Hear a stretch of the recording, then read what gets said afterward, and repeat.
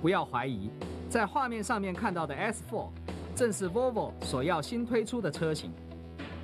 它与三菱 chrisma 是双生车种，它完全摒弃了 Volvo 一贯的方正外形，而改采较为圆润流畅的造型。从外观来看，S4 比它孪生兄弟的 chrisma 更多了一份稳重与气派。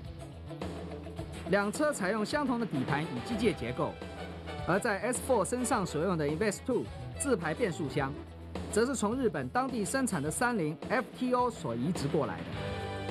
这一具变速箱具有 Fuzzy Logic 的程式，能够在路况下面自行选择最佳的档位。唯独引擎的部分将会各自开发。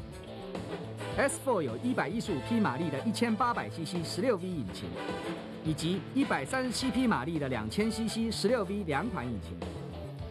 预计引进国内的车种将会以两千 CC 为优先。现在让我们来浏览一下它的外形。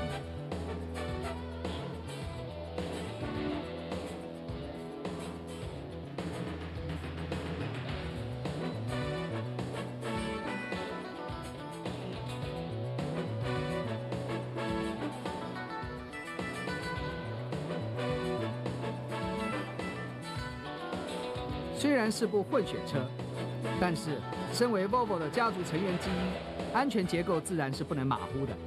你看，防撞钢梁、侧撞安全气囊，可是一样也不缺哦。